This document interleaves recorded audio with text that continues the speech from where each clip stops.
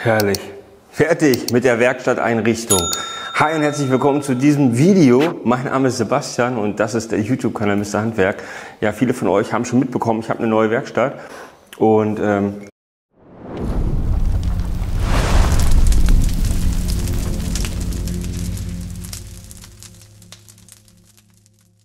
Heute möchte ich mit dir über das Thema Wandverkleidung sprechen, ein bisschen über Licht und Boden. Das sind so die drei wichtigsten Punkte hier bei mir in der Werkstatt.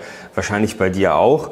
Ähm, ich habe in den vergangenen Videos, das waren glaube ich zwei oder drei, ein bisschen über die Sicherheit gesprochen, ähm, wie du deine Fenster absichern kannst. Äh, insgesamt waren es glaube ich zwei oder drei Videos. Dann habe ich ein Regal aufgebaut, was so ein bisschen in die Hose gegangen ist. Die Videos findest du auch unten in der Videobeschreibung. Und übrigens, für diejenigen, die es noch nicht wissen, es gibt mittlerweile die Mr. Handwerk Tasse zu kaufen. Und es gibt auch passend Sticker zu kaufen. Ich werde ganz oft angefragt wegen Stickertausch. Und ähm, unten in der Videobeschreibung findest du einen Shop. Dort kannst du die Stickers, T-Shirts, beispielsweise dieses hier, was ich übrigens sehr, sehr cool finde. Und ähm, ja, und diese Tasse hier kannst du dir kaufen. Ne? Wenn du Interesse hast, dann leg dir so eine Tasse zu. Die ist richtig cool. Und leider muss ich heute frei Hand filmen. Ähm, ich hatte hier Unterstützung von Wolfkraft. Ich hatte nämlich gerade hier meine Kamera aufgestellt gehabt. Ja, ähm, heute geht es um das Thema, ja, was für mich am wichtigsten ist, ist irgendwie die Wände zu verkleiden. Das Licht, das geht aktuell noch. Ich arbeite hier mit Softboxen und hier mit den Deckenleuchtungen hier LED-Strahlern. Und ich hatte euch ja letztens schon gefragt gehabt und vielen, vielen Dank für die Ideen, die ihr hattet. Äh, und heute geht es halt so ein bisschen weiter in die Thematik. Ne? Also, ähm, ich möchte mit euch genauer das anschauen. Mm, und ich habe mir auch schon irgendwie was überlegt, ich, was ich jetzt hier mache. Auf jeden Fall muss hier an dieser Wand muss was ran, weil das ist eine äh, Doppelblech, oder kennt ihr wahrscheinlich von Hallenbau, ne? Das sind zwei Bleche, in der Mitte ist so ein Schaumstoff, so ein Dämmmaterial und ähm, ich kann schlechter äh, an die Wand ranschrauben und die ganzen Sachen anbringen. Und normal finde ich das gar nicht so schön. Ich habe schon so eine gewisse Vorstellung. Und ähm, ja, ich muss jetzt auf jeden Fall diese Wände verkleiden.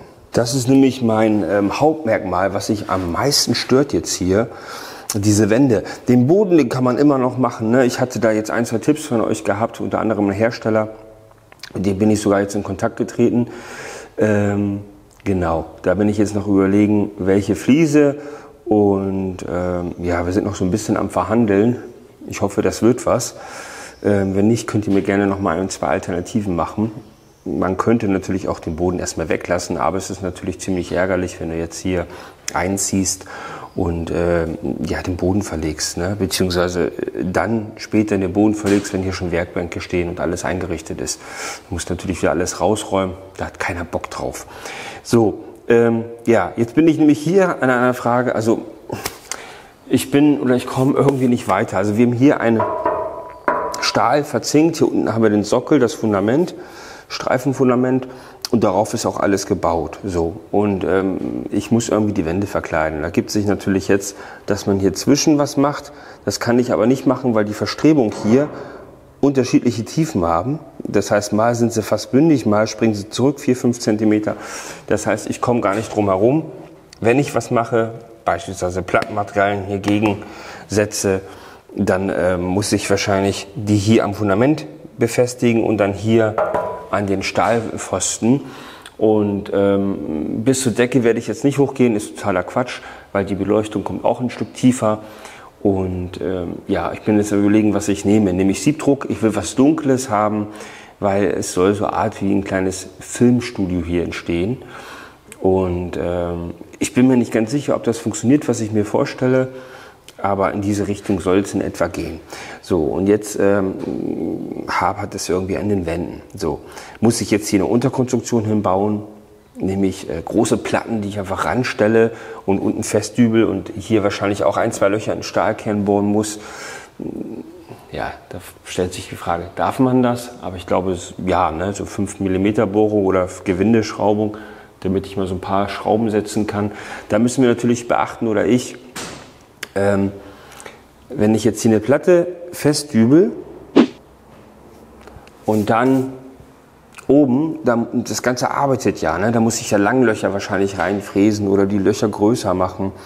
Äh, genau. Oder man, man macht hier Platten rauf, aber ja, ich bin mir total unsicher. Ne? Ich äh, hoffe irgendwie, dass ihr eine richtig geile Idee habt und mir weiterhelfen könnt. Ähm, ich spekuliere einfach jetzt, dass ich wahrscheinlich hier einen Holzrahmen raufsetzen muss, damit ich dann darauf, also meine Unterkonstruktion, damit ich dann darauf was äh, schrauben kann. Was es dann sein wird, weiß ich nicht. Äh, ich weiß halt, Siebdruck ist schweineteuer. Das kann ich mir wahrscheinlich nicht leisten, hier die ganze Wand äh, verkleiden. Und ähm, ach so, im Übrigen, was mir gerade einfällt, bevor ich das vergesse, vielen, vielen Dank für diejenigen, der mir ähm, was über die Amazon Wunschliste geschenkt hat. Das habe ich im letzten Video schon gezeigt gehabt. Und ich freue mich mega darüber. Ich hatte das gar nicht erwähnt gehabt. Es gibt immer einen Link unten in der Videobeschreibung. Der nennt sich Amazon Wunschliste. Dort kann man beispielsweise als Influencer oder als Privatperson eine Wunschliste machen, die ist dann öffentlich. Und wenn du da was kaufst, also du kannst dann den Artikel kaufen, der wird dann zu mir geschickt. Ich kriege deine Adresse nicht mit, du meine nicht. Nur du zahlst es. Und äh, ja, ist ziemlich lustig für denjenigen, der es dann bekommt. Aber ähm, es ist quasi so eine kleine Danksagung, kannst auch was dazu schreiben. Es ist eine Unterstützung für den Kanal. Und es hat mich sehr, sehr gefreut. Die findest du unten in der Videobeschreibung. Das sind so Sachen, die ich jetzt brauche. Farbe und ich habe keine Ahnung was, irgendwelche Sachen, ne? Verbandskasten und, und, und. So, äh, das wollte ich euch noch mal kurz sagen wegen Thema Geld. Ihr seht jetzt hier, hier oben ist ein Stahlträger. Das heißt, wenn ich Platten mache, werden die nur bis dahin gehen. Und äh, ja, ich habe auch anfangs überlegt gehabt, die ganze Halle zu streichen, aber es ist kein Eigentum und ähm, da macht Streichen, glaube ich, wenig Sinn. Äh, ja, es gibt noch USB-Platten. Äh, weiß ich nicht, bin ich nicht so ein Fan von, aber eigentlich dient ja USB-Platten dazu, um das Ganze zu verkleiden. Ne? Keine Ahnung. Vielleicht, äh, nee, eigentlich mag ich die USB, das wisst ihr ja, ne? aber gut. Gut, könnte man streichen ne? oder folieren. oder mit Blechen bekleiden, ich weiß es nicht. So, kümmern wir uns jetzt mal ganz kurz um die Beleuchtung. Bei der Beleuchtung ist es nämlich so, ich habe jetzt von euch, äh, eines Mal habt ihr Luke, Luke's Light äh, empfohlen. Das ist ein äh, LED-Hersteller, beziehungsweise der vertreibt das Ganze. Das sind so Panels mit Rahmen, die an die Decke angebracht werden. So, mit denen habe ich jetzt auch Kontakt aufgenommen. Und ähm, ja, dann könnte ich Paulmann-Licht nochmal zurückgreifen. Da habe ich jetzt auch schon mal ein, zwei E-Mails hin und her geschrieben, was man hier machen könnte. So, das Problem ist, was für Lampen ich anbaue, das wird nicht so das Problem sein. Es gibt auch die von äh, Philips, das sind so Hängelampen, die man ähm, hinhängen kann. Kostet eine um die 100 Euro. Nehme ich jetzt sechs Stück, würde ich bei 600 Euro. Ist schon echt viel, aber Philips spricht ja für sich. Ne? Oder LED-Panels, ich weiß es nicht. Äh, vielleicht habt ihr ja Erfahrung mit diesen ähm, Strahlern von, von Philips. Ich werde dich die mal unten in der Videobeschreibung verlinken. Ja, ja, auf jeden Fall ähm, haben die sehr, sehr gute Bewertung. Ähm, wenn ich diese jetzt verwenden würde, dann würde es mich ersparen, dass ich hier irgendwie so ein Gerüst aufbauen müsste, wo ich dann die Panels anbringe. Weil die Panels, ich kann jetzt nicht 20 Panels von 30 mal 30 Zentimeter an Seilen befestigen, das sieht A scheiße aus und B ist das viel zu viel Arbeit. Das heißt, ich müsste eine Unterkonstruktion bauen aus Holz, aus Stahl. Ich habe eigentlich davon geträumt, mir so Traversen zuzulegen. Gibt es auch bei Amazon und Co., aber die sind halt schweineteuer. Und ähm, ja, das werde ich äh, definitiv nicht machen. Ich kann jetzt nicht für die Beleuchtung hier äh, 4.000, 5.000 Euro ausgeben. Also insgesamt. Deswegen ähm, suche ich halt eine günstige, gute Alternative. Und äh, ich habe mir schon ein paar Tipps gegeben. Ich, äh, ja, ich muss mir mal, ich muss erstmal die Wand machen. Wenn die Wand ist, dann kann ich ein, zwei Werkbänke aufbauen und dann äh, kann ich mich mal um die Beleuchtung kümmern und dann zum Schluss zum Boden. Also muss es halt in Etappen machen. Und dann gibt es ja auch demnächst noch den Umzug. Ähm, aber pff, viele Hände, ein schnelles Ende, ich weiß es nicht. Oder ja, ich das jetzt erfunden, weiß ich nicht. Auf jeden Fall ist es auch so, ne? wenn viele anfassen, dann geht das Ganze auch schneller.